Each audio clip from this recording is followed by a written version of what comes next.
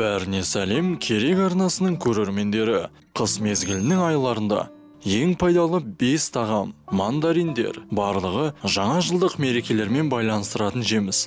Цитрус жемістерінде қанттың аз мөлшері бар. Бұл оларды қант диабеті бар адамдарға да тұтынуға мүмкіндік береді. Сонымен қатар мандариннің құрамында талшықтар көп. Бұл ас қорыту жолынан токсиндерді шығарады. Мандарин с витаминіне бай. Алмұрт. Алмұрт организмнің қорғаныс қабілетін арттыратын дәрумендер мен микроэлементтерге бай. Фолий қышқылының құрамы бойынша алмұрт қарақаттан жоғары екенін атап өткен жөн. Бұл иммундық жүйенің қалыпты жұмыс істеуі үшін және метаболизмнің дұрыс болуы үшін қажет. Алмұрттың қабынуға қарсы әсері бар. Және депрессиямен күресуге көмектесетін органикалық қышқылдар болады. Адамдар суық мезгілде созылмалы шаршау мен энергияны жоғалтуды жиі сезінетіндіктен алмұртты аптасына кемінде бір екі рет ас мәзіріне қосу керек.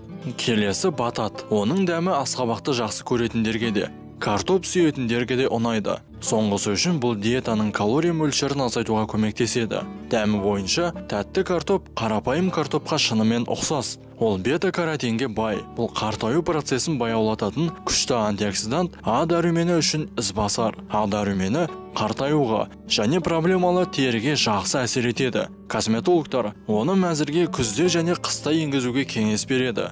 Киви егер цитрус жемістерінде си дәрумені бойынша бәсекелес керек болса бұл киви болмақ. Бұл экзотикалық жидек организмнің вирустарға төзімділігін арттырады инфекцияның алдын алады және суықтан кейін қалпына келтіруді тездетеді. Сонымен қатар киви жемісінде темір мен калий болады. Олар дәрумен жетіспеушілігімен күреседі және жүрек бұлшықеттерін күшейтеді. Соңғысы хурма. Егер теріңіздің күйіне көңіліңіз толмаса хурма сіздің ас мәзіріңізде болуы керек. Қабынудан тазарту үшін осы жемістерді десертке жиі қолданыңыз. Хурма ішек микрофлорасын қалыпқа келтіреді және бонус ретінде теріні безеулерден арылтуға көмектеседі. Денсаулығыңыз мықты болсын.